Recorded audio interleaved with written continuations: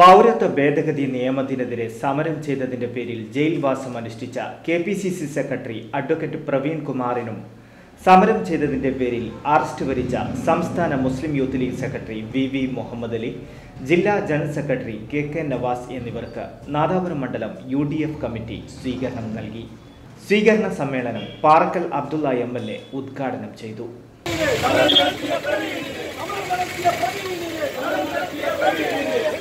ഈ കരി നിയമത്തിനെതിരെ എല്ലാവരും ഒറ്റക്കെട്ടായി സമരമുഖത്തിറങ്ങണമെന്ന് Parakkal Abdullah M L A പറഞ്ഞു.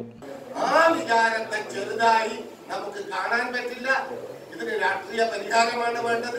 ആ പരിഹാരത്തിന് ഇന്ത്യ രാജ്യത്ത് ഇന്ത്യൻ നാഷണൽ കോൺഗ്രസ് ആണ്. കോൺഗ്രസിന് മാത്രമേ നാദാപുരത്ത് എത്തിയ നേതാക്കളെ പ്രകടനമായിട്ടാണ് യു ഡി എഫ് പ്രവർത്തകർ നാദാപുരം ലീഗ് ഹൗസിലേക്ക് ആനയിച്ചത്. പൗരത്വ ഭേദഗതി നിയമത്തിനെതിരെയുള്ള പോരാട്ടത്തിൽ കേരള മുഖ്യമന്ത്രിക്ക് ആത്മാർത്ഥതയില്ലെന്നും ഇതിനെതിരെ സമരം ചെയ്തതിന്റെ പേരിൽ അൻപത്തേഴ് പേരെ ഒന്നിച്ച് ജയിലിൽ അടച്ചത് മുഖ്യമന്ത്രിയുടെ ഇരട്ടത്താപ്പിന്റെ തെളിവാണെന്നും അഡ്വക്കേറ്റ് പ്രവീൺ കുമാർ പറഞ്ഞു. അഭിമാനത്തോടു കൂടിയാണ് പറഞ്ഞു നാളെ ഞങ്ങൾ എത്തും എന്ന് പറഞ്ഞു. ഞങ്ങൾ പിറ്റേന്ന് കാത്തു നിന്നു. ആദ്യത്തെ ദിവസം സമരത്തിലെ വെട്ടിത്തിന് പിണറായിക്ക് മനസ്സിലായതുകൊണ്ടാവാം ലീഗുകാരെ യൂത്ത് ലീഗുകാരെ ജയിലിൽ അടയ്ക്കാൻ വിട്ടു. പക്ഷേ പിണറായിയുടെ മുഖം ഇരട്ടത്തപ്പാണ് ഒരു തരത്തിലും ഈ പൗരത്വ ഭേദഗതി പിണറായിയുടെ പോരാട്ടത്തിൽ ആത്മാർത്ഥതയില്ല.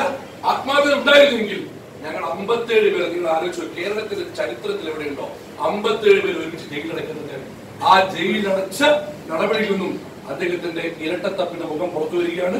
ഇനി അങ്ങോട്ട് ദിവസങ്ങളിൽ ഇന്ത്യയിലെ ന്യൂനപക്ഷങ്ങളുടെ ആശങ്ക കെട്ടാൻ സർവോപരി ഇത് സമുദായത്തിന്റെ മാത്രം നീക്കമല്ല ഈ രാജ്യത്തിന്റെ ഭരണഘടന നീക്കമാണ് രാജ്യത്തിന്റെ മതേതര നീക്കമാണ്. ആ നീക്കത്തിലും പോരാട്ടത്തിലും ഒറ്റക്കെട്ടായി നമുക്ക് പോരാട്ടത്തിൽ ഇറങ്ങാം. V V Muhammad Ali K K Navas എന്നിവരും സ്വീകരണത്തിന് നന്ദി പറഞ്ഞു. അഹമ്മദ് പുന്നക്കൽ അധ്യക്ഷത വഹിച്ചു. P Shaduli C V Kunhikrishnan K P Rajan N K Moosa master advocate A Sajeevan Korangott Moythu Muhammad Banglath തുടങ്ങിയവർ പ്രസംഗിച്ചു.